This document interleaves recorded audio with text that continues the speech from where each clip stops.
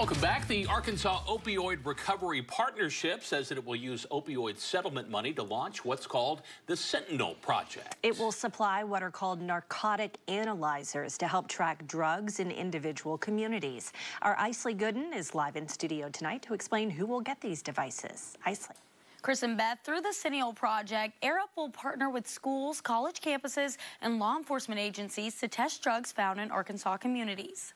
The launch was announced today during a press conference at the Association of Arkansas Counties. They'll each receive a narcotic analyzer to conduct rapid testing of suspected drugs across the state.